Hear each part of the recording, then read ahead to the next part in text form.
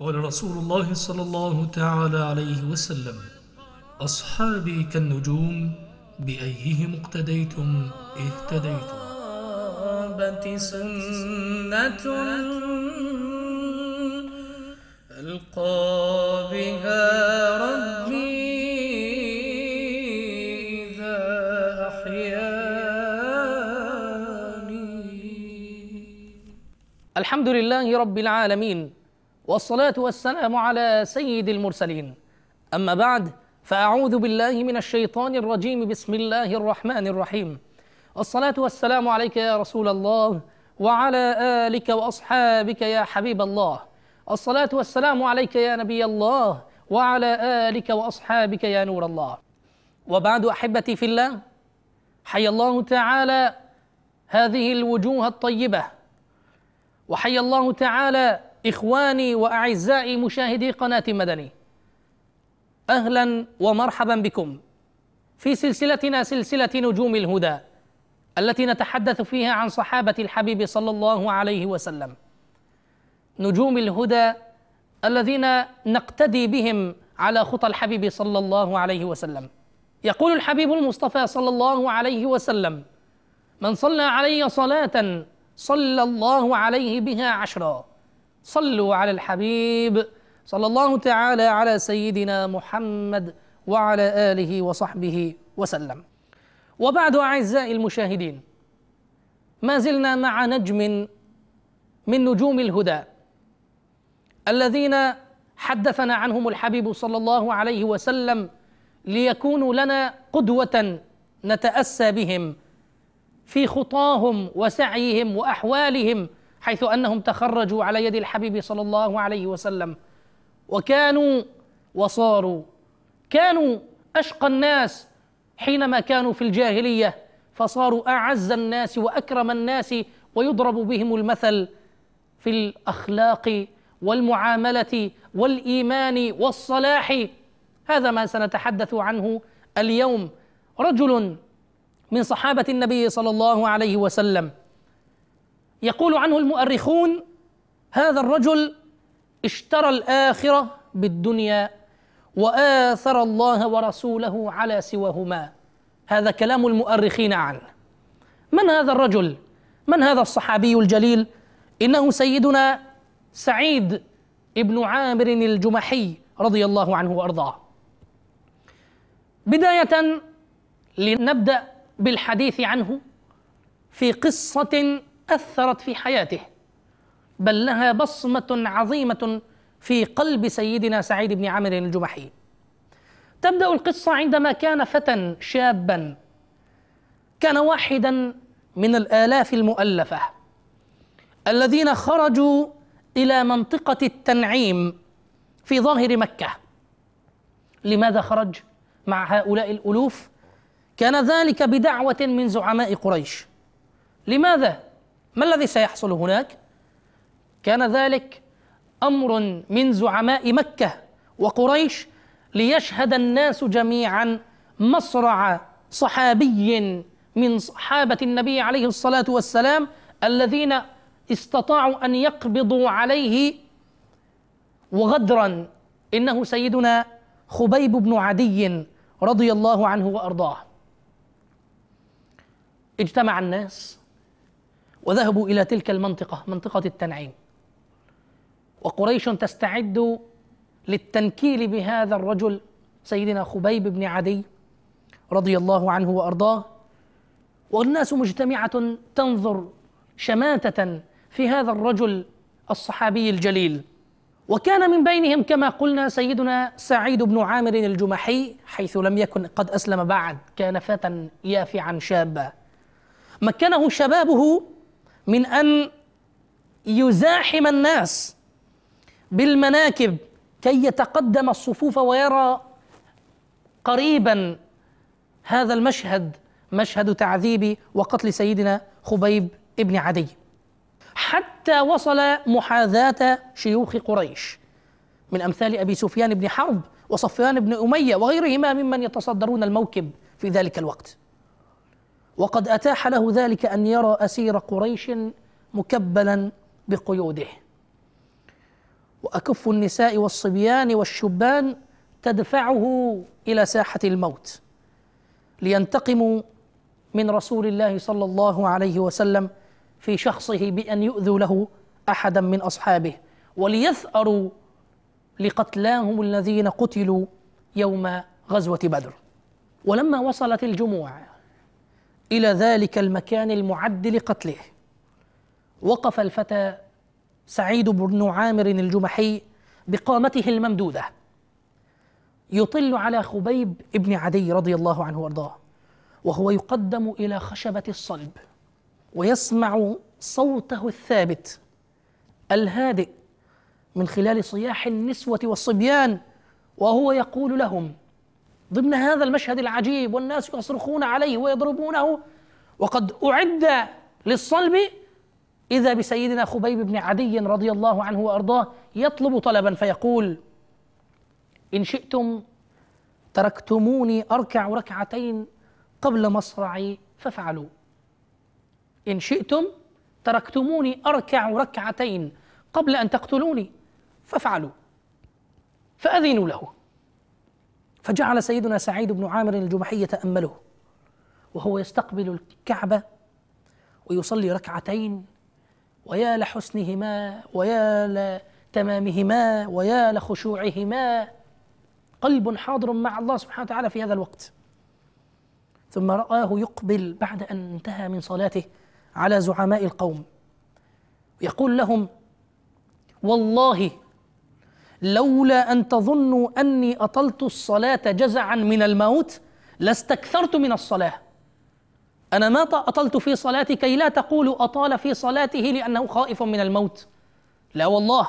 وإنما قصرت في صلاتي عمدا لكي لا تقولوا أني جزع أخاف الموت.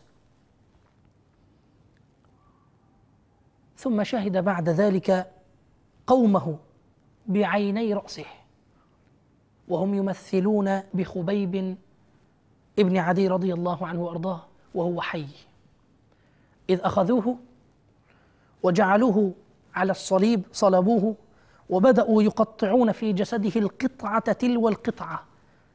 وهم يقولون له أتحب أن يكون محمد مكانك وأنت ناج؟ ينادون سيدنا خبيب هل ترضى أن تكون في بيتك امنا مطمئنا؟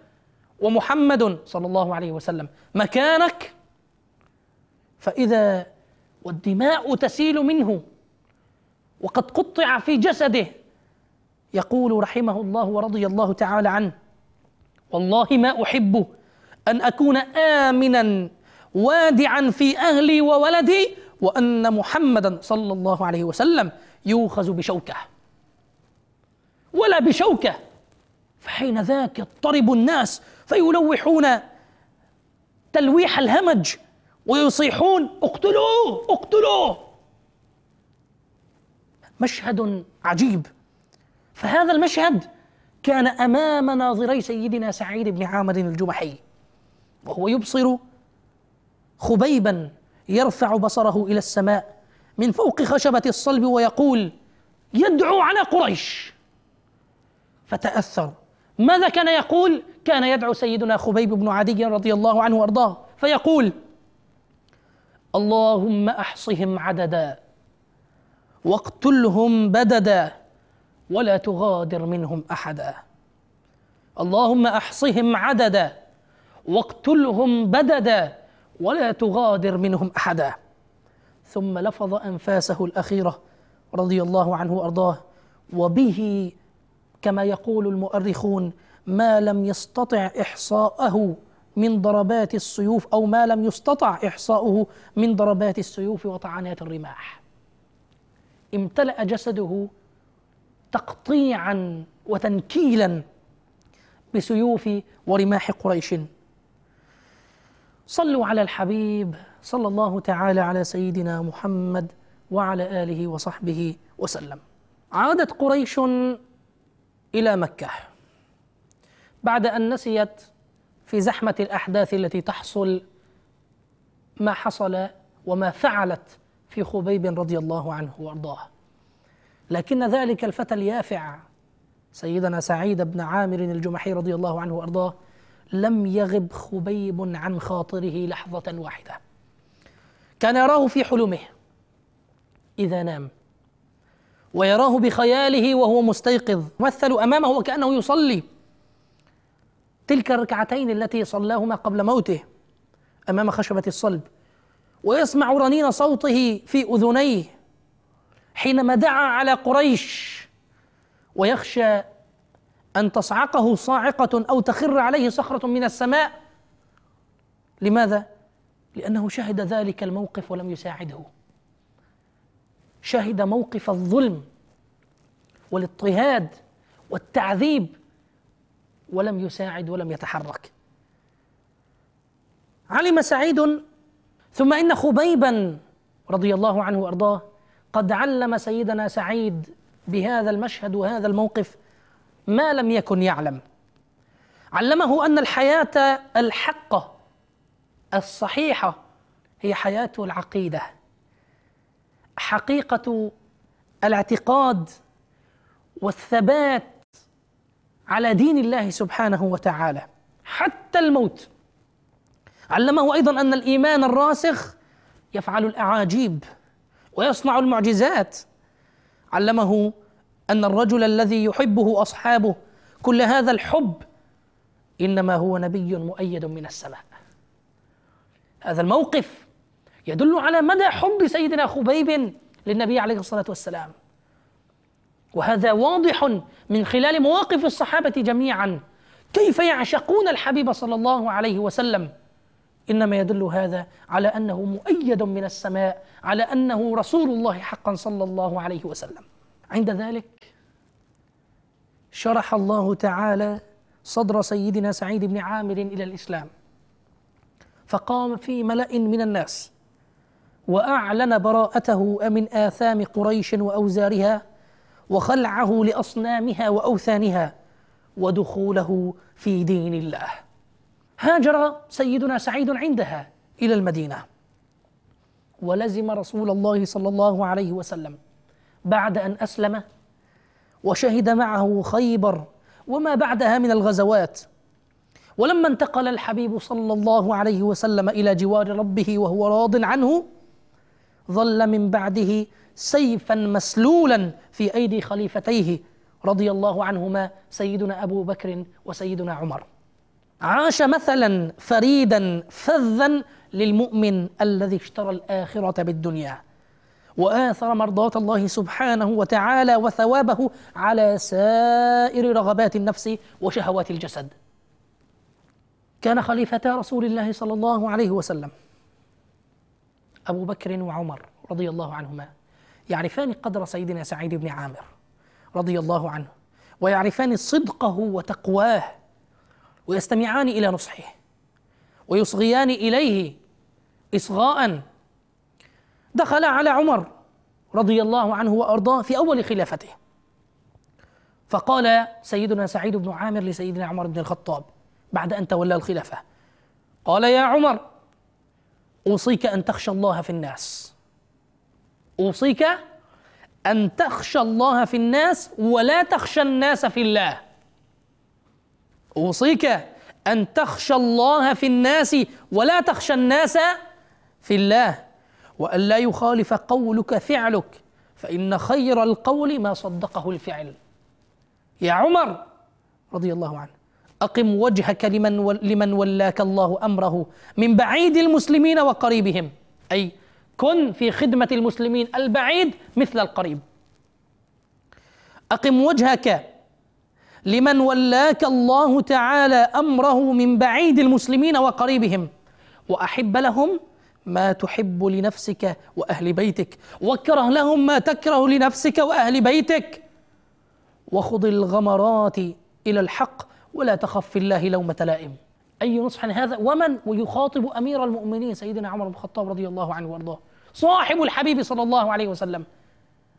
الذي حدث عنه النبي عليه الصلاة والسلام بأنه وافق قوله كتاب الله. وافقه الله سبحانه وتعالى في مواقف. سيدنا عمر تكلمنا عنه في حلقات كثيرة. يأتي سعيد بن عامر رضي الله عنه وينصحه. نعم. نصيحة الحاكم والخليفة هذه سنة من سنن الإسلام. سنها الحبيب صلى الله عليه وسلم لنا بأن ننصح لعامة المؤمنين وخاصتهم لأمرائهم ولصغارهم. فكان هذا موقف سيدنا سعيد بن عامر مع, مع سيدنا عمر رضي الله عنه وأرضاه. حين ذاك بعد أن سمع تلك النصيحة العظيمة التي وقعت في قلبه من؟ سيدنا عمر. وقعت النصيحة في قلبه فقال سيدنا عمر ومن يستطيع ذلك يا سعيد؟ يعني أمر الخلافة فتنة أمر الحكم فتنة فماذا أفعل؟ كيف أثبت على طاعة الله وعلى الحق؟ وأنا أخاف على نفسي أن أزل هذا ما يريد أن يقوله. فقال سيدنا سعيد بن عامر وهو يعرف سيدنا عمر بن الخطاب قال له يستطيعه رجل مثلك ممن ولاهم الله أمر أمة محمد صلى الله عليه وسلم وليس بينه وبين الله أحد. أنت لها يا عمر. رضي الله عنه وأرضاه. صلوا على الحبيب صلى الله تعالى على سيدنا محمد وعلى آله وصحبه وسلم. عند ذلك دعا عمر بن الخطاب رضي الله عنه وأرضاه سعيدا إلى مؤازرته. فقال له يا سعيد إنا مولوك على أهل حمص. أنت صحابي جليل نعرف قدرك ونعرف تقواك وصلاحك. اذا خير من يكون لنا عونا على هذا الحكم على هذه الخلافة على تولية أمور المسلمين هو أنت. فيجب أن تكون معنا. فولاه على حمص. فإذا بسيدنا سعيد بن عامر رضي الله عنه وأرضاه يقول له يا عمر نشدتك الله ألا تفتنني. نشدتك الله ألا تفتنني. الله أكبر. لو أن واحدا منا قيل له تفضل واستلم حكم بلد من البلدان لقال مسرعا يا الله آه آتيكم مسرعا مهرولا.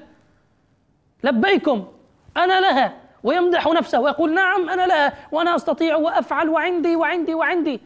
بينما سعيد بن عامر الجمحي رضي الله عنه وأرضاه كان يهرب لأنها أمانة وحمل في عنقه. فقال يا عمر نشدتك الله ألا تفتنني. فحين ذا غضب سيدنا عمر رضي الله عنه وأرضاه وقال ويحكم وضعتم هذا الأمر في عنقي ثم تخليتم عني والله لا أدعك. أنت بقيت تنصحني وتقول لي وتحملني وتزيدني في همي من هذه المسؤولية.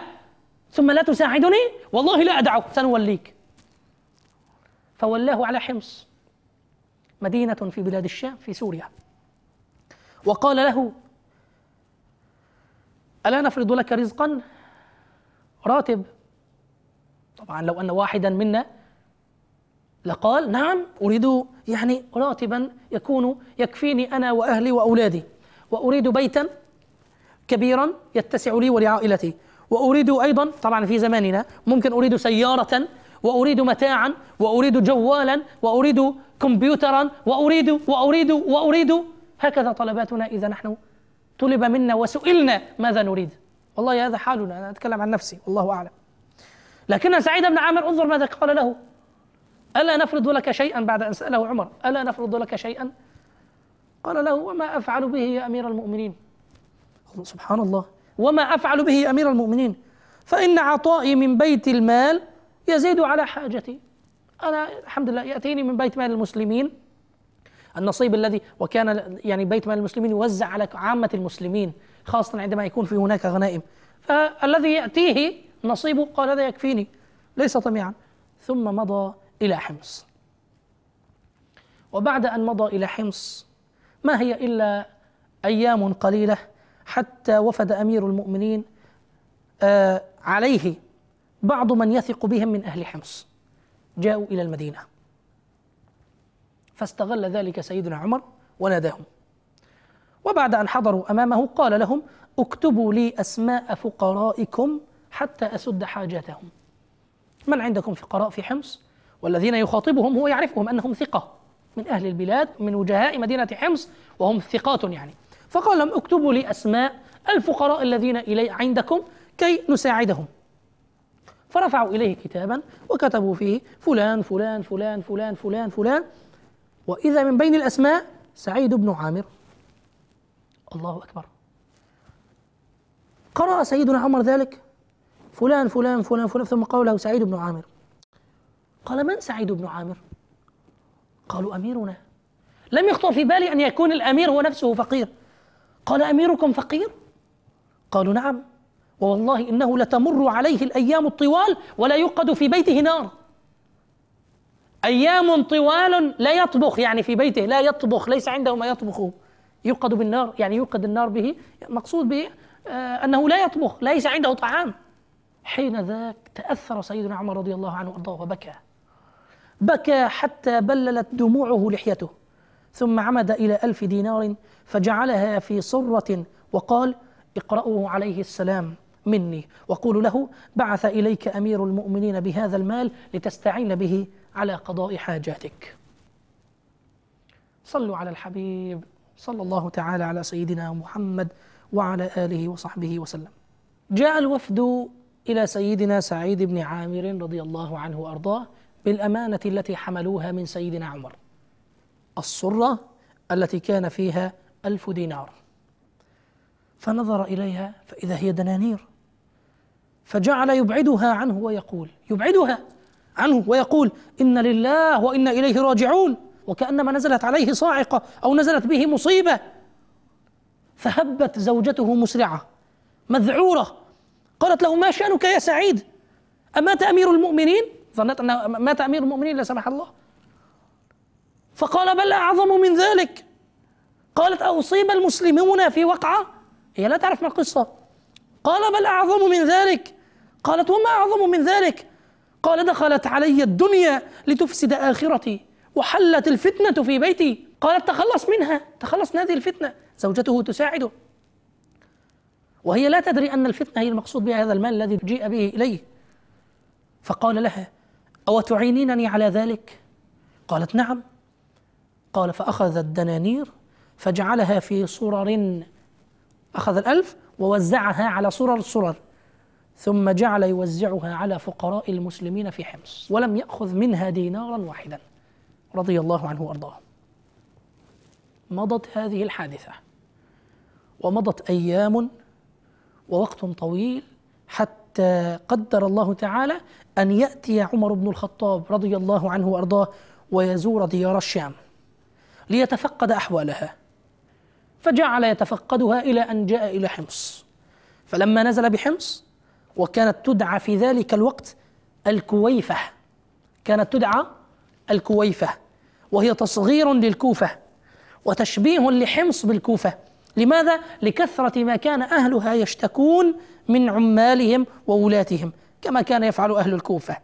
فلما نزل بهم لقيه أهلها ووجهاؤها للسلام عليه. من؟ أمير المؤمنين جاء فيستقبله الناس وخاصة وجهاء البلد يعني. فمباشرة سألهم سيدنا عمر رضي الله عنه وأرضاه كيف وجدتم أميركم؟ فبدأوا يشتكون. فشكوه وذكروا له يعني أربعا من أفعاله كل واحد منها أعظم من الآخر. قال عمر فجمعت بينه وبينهم. يقول سيدنا عمر الآن هذه الرواية له. ودعوت الله ألا يخيب ظني فيه فقد كنت عظيم الثقة به. أربعة أشياء يريدون أن يشتكوا منها وهي عظيمة عندهم. وأيضا سيدنا عمر كان واثقا به فهو تعجب أن سعيد بن عامر يعني هذا لا يجب يعني أحد أن يشتكي منه. فقال إذا أجمعكم معه ثم تقولون. فلما أصبحوا يقول سيدنا عمر فلما أصبحوا عندي هم أي وجهاء القوم وأميرهم قلت لهم ما تشتكون من أميركم الآن أمام الأمير؟ تفضلوا ماذا تشتكون منه؟ فقالوا أولا لا يخرج إلينا حتى يتعالى النهار. يعني لا يخرج إلينا غير إلا في الظهر في الصباح لا نراه. أي قول هذا؟ هم يريدون أن يكون من الصباح. ونحن في زماننا هذا الناس لا يستيقظون حتى الظهر نسأل الله العافية. هم يشتكون أنه لا يخرج معهم بعد الفجر. من بعد صلاة الفجر؟ لا لا يخرج. يخرج عندما يطلع النهار. يقول سيدنا عمر فقلت ما تقول في ذلك يا سعيد؟ ما ردك؟ تفضل. فسكت سعيد قليلا رضي الله عنه. ثم قال والله إني كنت أكره أن أقول ذلك. يعني أن أفصح ما السبب؟ أما وإنه لا بد منه فإنه ليس لأهلي خادم. السبب أن أهلي ليس عندهم خادم. فأقوم كل صباح فأعجن لهم عجينهم. ثم أتريث قليلا حتى يختمر. ثم أخبزه لهم ثم أتوضأ وأخرج للناس. الله! رضي الله عنه. أمير من أمراء البلاد يحكم بلدا مدينة حمص ليس عنده خادم يخبز ويعجن بنفسه رضي الله عنه. أين هو وأين نحن؟ أين نحن منهم؟ رضي الله عنهم وأرضاهم. فأقوم كل صباح فأعجن لهم ثم أتريث قليلا حتى يختمر ثم أخبزه لهم ثم أتوضأ وأخرج الناس وأي تبرير أعظم تبرير والله أفحمهم في جوابه. قال عمر فقلت لهم ماذا تشتكون أيضا؟ فقالوا إنه لا يجيب أحدا في الليل. يعني إذا أحد جاءه ليشتكي له أمره في الليل لا يستقبله. هذه مشكلة. فقلت وما تقول في ذلك يا سعيد؟ طبعا سيدنا عمر. ما ترد عليهم؟ فقال سيدنا سعيد إني والله كنت أن أكره أن أعلن عن هذا أيضا. يعني هذه مسائل خاصة. لكن أنا قد جعلت النهار لهم والليل لله عز وجل. النهار لهم والليل لله يعني أنه يقوم الليل في قيام الليل. لا بينه وبين ربه أي قصة هذه؟ ففرح سيدنا عمر. ثم قال ماذا تشتكون أيضا؟ قالوا إنه لا يخرج إلينا يوما في الشهر. يعني عنده يوم في الشهر لا يخرج فيه أبدا. لماذا؟ يعني يوم في الشهر يغيب عطلة له فقط يوم في الشهر. لا يخرج إليهم لا يخرج إلى الناس. ليس جالس في قصره. وعنده مكتبه ويسافر للسياحة في السنة عشرين يوم وثلاثين يوم يأخذ إجازة. أبدا يوم واحد فقط في الشهر له. يعترضون عليه. سبحان الله. سيدنا عمر يقول له ما هذا يا سعيد؟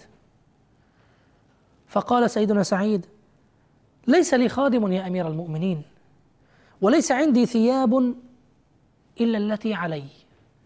ليس عندي ثياب إلا التي علي. لا يملك إلا هذا الثوب الذي يلبسه.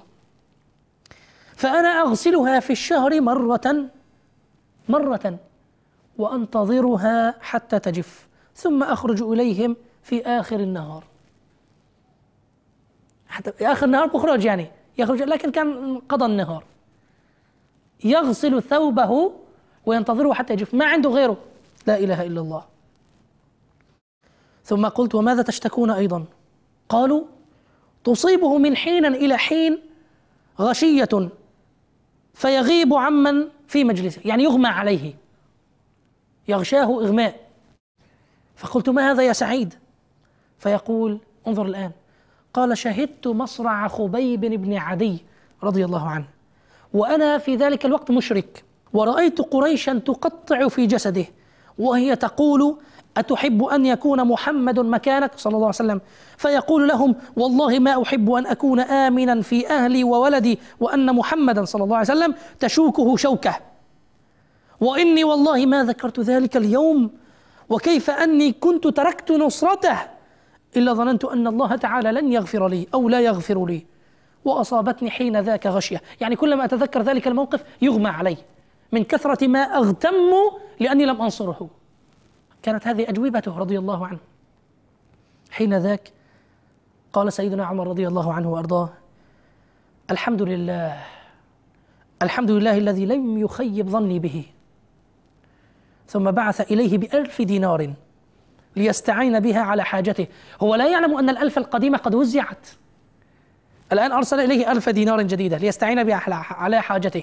فهذه المرة رأتها زوجته رأت أيضا المال. فقالت له الحمد لله الذي أغنانا من خدمتك أو عن خدمتك. اشتري لنا مؤنة واستأجر لنا خادما. بس. اشتري لنا طعام الآن وما نحتاج واستأجر لنا خادما. فقال لها سيدنا سعيد بن عامر وهل لك فيما هو خير من ذلك؟ ما رأيك أن أدلك على شيء أفضل من ذلك؟ قالت ما ذاك؟ قال ندفعها إلى من يأتينا بها. الذي سيأتي بها؟ نعطيه إياها. ونحن أحوج ما نكون إليها. أنا أعرف أننا نحن محتاجون إليها لكن ندفعها للذي سيأتي بها. قالت ما ذاك؟ يعني لما؟ قال نقرضها الله قرضا حسنا. نقرضها الله قرضا حسنا مصداقا لقول الله سبحانه وتعالى من ذا الذي يقرض الله قرضا حسنا فيضاعفه له أضعافا كثيرة. في القرآن الكريم قالت نعم جزيت خيرا. وافقته هي أيضا على درجة من الإيمان زوجته رضي الله عنه وأرضاها. فما غادر مجلسه الذي هو فيه حتى جعل الدنانير في صرر وقال لواحد من أهله انطلق بها إلى أرملة فلان وإلى أيتام فلان وإلى مساكين آل فلان وإلى معوزي آل فلان. وزعها على فقراء المسلمين كما فعل في المرة الأولى. رضي الله عن سيدنا سعيد بن عامر. رضاء هو عليه وعلى أهله وعلى بقية الصحابة جميعا حقيقه هذه كانت قصة عظيمة من قصص صحابة الحبيب عليه الصلاة والسلام. نسأل الله العظيم رب العرش العظيم أن يجعلنا من الذين يتخطون ويسعون ويحافظون على التشبه بهؤلاء القدوة الأسوة نجوم الهدى رضي الله عنهم. صدق رسول الله صلى الله عليه وسلم فيما قال اصحابي كالنجوم بأيهم اقتديتم اهتديتم أو كما قال صلى الله عليه وسلم. نسأل الله تعالى أن يجعلنا دائما في هذا الموقف الذي قرأناه وتعلمناه متأسين بهم مقتدين على آثارهم خاصة وأننا هنا في مجلس في مركز الدعوة الإسلامية. في هذا النشاط الدعوي الذي يذكر بالله وبرسول الله صلى الله عليه وسلم وبصحابته رضي الله عنهم لكي نكون على خطاهم. نصلح النفس ونصلح الناس بما استطعنا. اللهم اجعلنا كذلك. سبحانك اللهم وبحمدك. أشهد أن لا إله إلا أنت. أستغفرك وأتوب إليك. صلوا على الحبيب صلى الله تعالى على سيدنا محمد وعلى آله وصحبه وسلم. قال رسول الله صلى الله تعالى عليه وسلم أصحابي كالنجوم بأيهم اقتديتم اهتديتم. الصحابة سنة ألقى بها